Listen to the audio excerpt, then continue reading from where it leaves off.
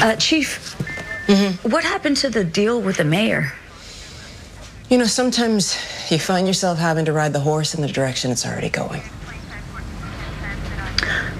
Uh, respectfully, I was there when the deal was made.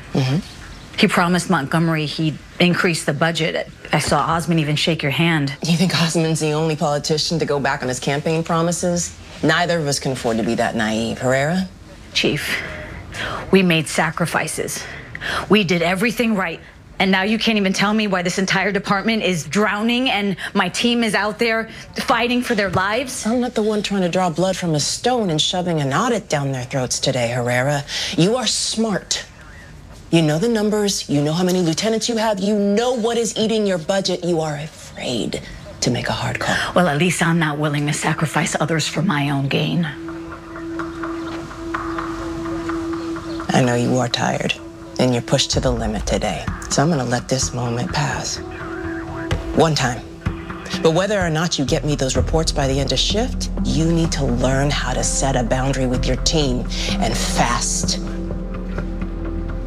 And Herrera, you will never speak to your chief like that again. Dismissed.